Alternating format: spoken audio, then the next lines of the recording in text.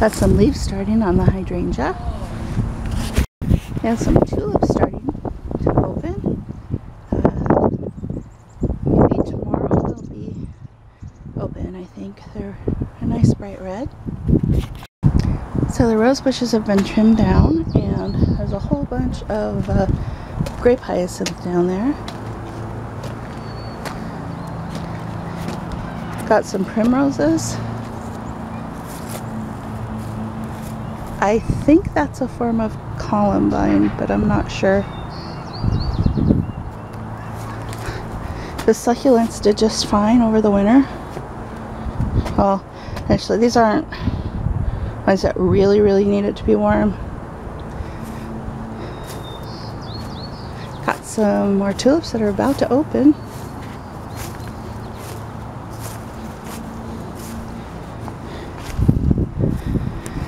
Tore down all the vining plants. It was just getting to be too much. Um, might put honeysuckle back in if it doesn't come back from its roots.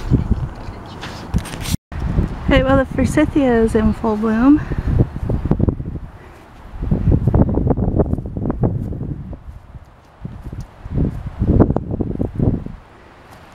And the strawberries are starting to put on growth. And I don't know how, there's a couple tulips in here. And they should not be able to be in here. Uh, we did not plant them in here.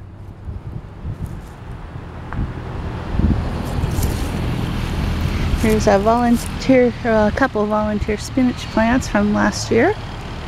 And a whole lot of horsetail. So we're gonna have to really go through this dirt and get it out of here. No sign of new grass on the, oh wait, I'm wrong. There's a couple green strands, just a couple green strands of grass in the zebra grass. Rosemary came back real nice. Got more grape hyacinths and tulips coming up up here. Regular hyacinth. Lemon balms coming back. These are peonies. Daylilies with dandelions mixed in. Uh, this is one of the comfrey, another daylily, more daylilies, uh, other comfrey, poppies, more peonies and tulips.